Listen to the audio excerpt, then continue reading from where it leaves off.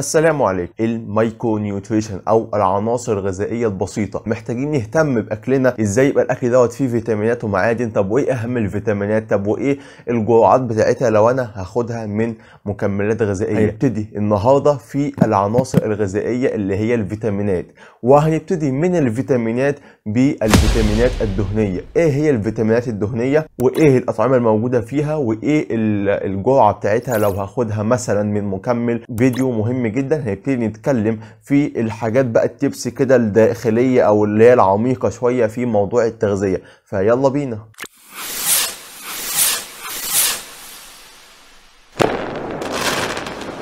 أهلا بيكم من تاني. طبعا ال vitamins وال minerals في حد بيقول إن أنت لو عرفت المعدن أو الفيتامين المفقود في جسمك هتحل جميع مشاكل صحتك. تمام؟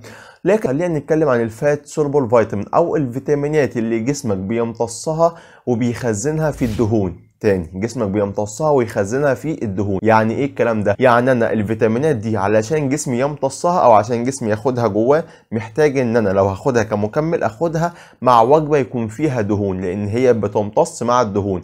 زي في فيتامينات تانية بتمتص مع المية أو بتاخدها في أي وقت يعني. تمام؟ طيب وجسمي بيخزنها فين؟ بيخزنها في الدهون. عكس الفيتامينات بتاعه المية الجسم ما بيخزنهاش أصلا بتنزل. أي زيادة فيها بتنزل. فالفيتامينات الدهنية ديت هي فيتامين K وفيتامين E وفيتامين A وفيتامين D الأربع فيتامينات دول هم ال fat soluble vitamin تمام؟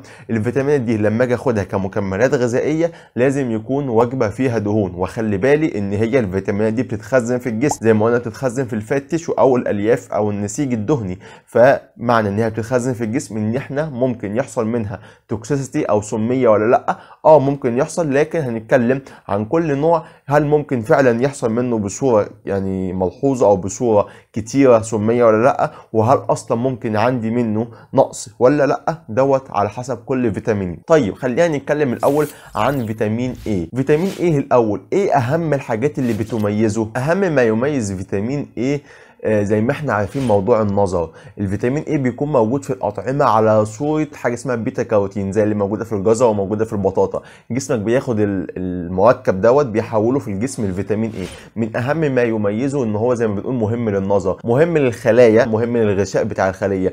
مهم للفيوجن أو الرؤية زي ما قلنا. نقص بقى فيتامين اي دوت بيعمل إيه؟ بيعمل عندك ضبابية في الرؤية يعمل عندك دوخة صداع. لكن في حاجة مهمة وهو إن فيتامين A لا ينصح باستخدامه كمكمل غذائي بل بالعكس ينصح باستخدامه من الأطعمة لأنه متوفر وبشدة ومتوفر كتير في كذا طعام زي ما قلنا. لكن لما نيجي نتكلم عن هل هو ممكن يحصل منه نقص فالأغلبية لا ما بيحصلش منه نقص عشان موجود في الأطعمة زي ما قلنا كتير. وكمان مشكلته إن أنت لو خدته من مكمل لو خدت منه جرعة عالية بيعمل منه تسمم.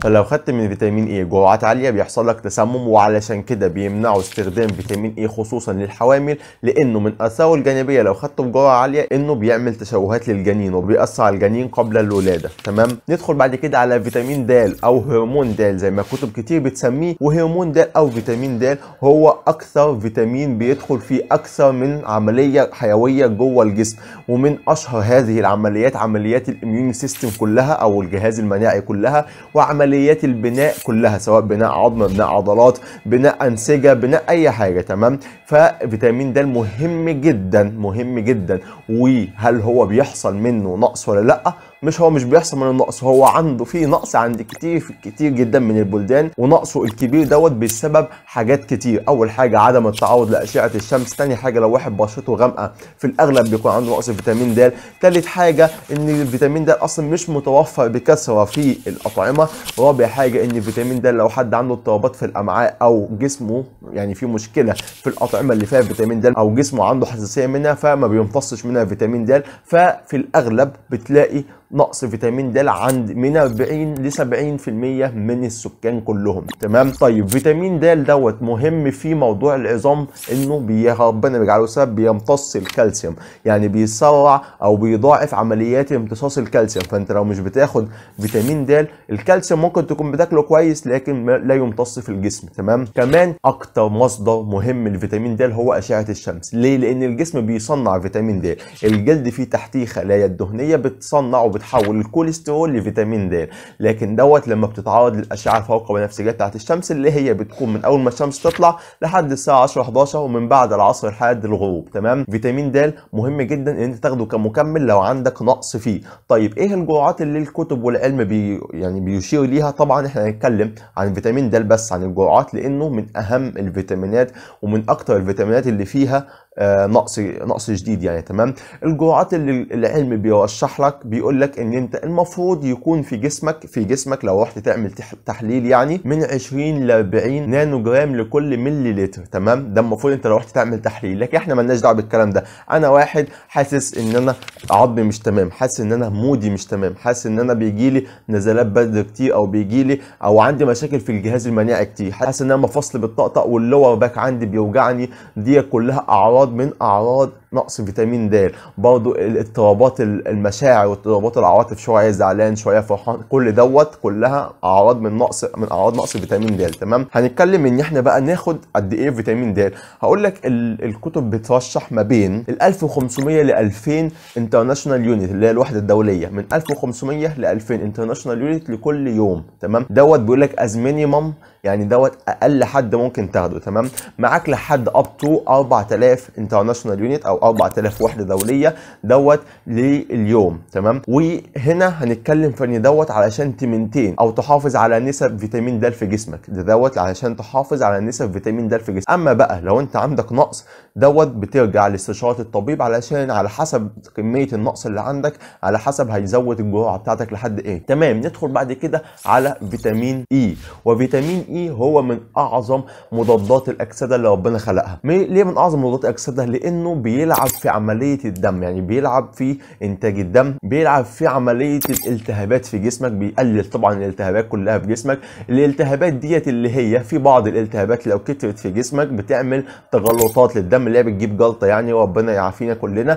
ففيتامين E من أكتر الحاجات اللي بتقلل الموضوع دوت. طيب فيتامين E متوفر؟ هو متوفر. يعني هل هو ممكن يحصل منه آه نقص؟ أقول لك هو بيقول لك rare يعني ما بيحصلش منه نقص في معظم الناس. لكن لو واحد عنده مشاكل في الأمعاء جسمه ما بيهضمش كويس واحد ما بياخدش آم، فيتامين E واحد ما بياكلش ال- اللي هي مضادات الأكسدة أو الأطعمة اللي هي مضادات اكسده واحد يعني عنده مشاكل في الأمعاء بتاعته جسمه لا يمتص فيتامين E ففي الحالة ديت هو محتاج إن هو ياخد مكمل. تمام؟ لكن في الطبيعي وفي الجنرال بيقول لك لا ينصح باستخدام فيتامين E من المكمل. طيب ليه؟ لأن دوت الفيتامين الوحيد اللي ربنا خلق فيه وظيفة كده أو خلق فيه حاجة كده سبحان الله يعني. إن أنت لو خدته من الأكل حتى لو خدت منه كميات أعلى من الأكل جسمك لا يعمل منه سمية تمام؟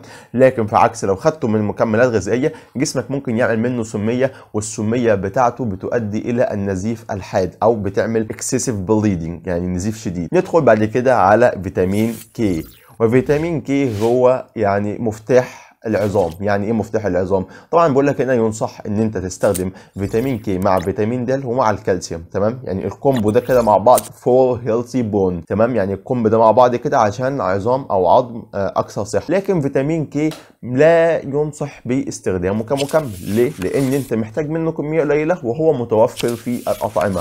متوفر في إيه؟ متوفر في الخ... الأطعمة الخضراء. وكل ما تكون شديدة الخضار تكون أفضل ومتوفر في الأطعمة اللي هي الدهنية زي الزبدة مثلا البقري الحاجات ديت متوفر فيها فيتامين K وهو مهم زي ما قلنا للعظام. ما يميزه بقى أو الحاجة اللي, بتست... اللي بيستقل بيها فيتامين K موضوع تجلط الدم إنه بيظبط سيولة الدم بيظبط سيولة الدم. ففيتامين K لو مظبوط عندك سيولة دمك تكون مظبوطة. طب يعني إيه سيولة الدم مظبوطة؟ يعني الدم لو متجلط زيادة شوية يعمل blood pressure أو يعمل ضغط عالي القلب بيدق بالعافية. طب لو الدم آه، سيولته خفيفة شوية لا يعمل لك سيولة في الدم. لو تعرضت لأي جرح يعمل لك نزيف.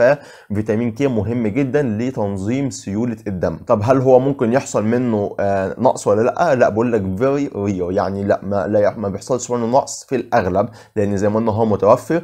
وجسمك محتاج منه كميات صغيرة. دي كانت ال fat soluble vitamin طيب هل بعد كده هنخش على ال water soluble vitamin طبعا هنتكلم عن الفيتامينات اللي بتذوب في الماء لكن في الفيديو القادم إن شاء الله. فما تنساش تشترك في القناة وتفعل الجرس ليصلك كل جديد. اشوفكم فيديو جديد إن شاء الله وما توفيق إلا بالله. عليه توكلت وإليه أنيب. السلام عليكم.